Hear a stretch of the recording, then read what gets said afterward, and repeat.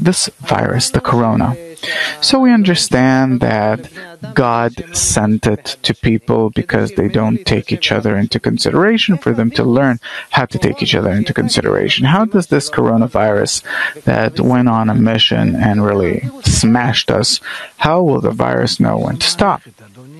Mister, because it's a system. It is a system that all the time lives and is round and is connected from beginning to end and to beginning.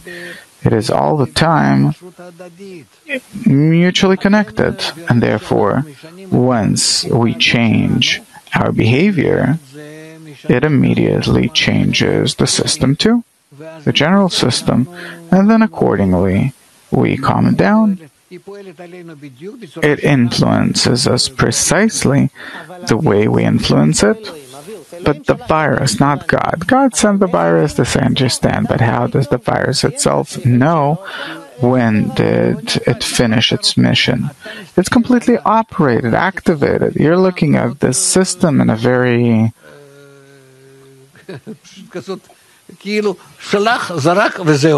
as if he sent it and that's it, you know,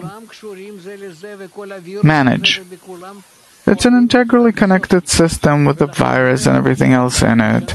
And therefore, once you change your response to the virus on the social level, even though that the virus is influencing you biologically on the biological level, your response on the social level influences the entire system. And then the form of the virus on the biological level also changes.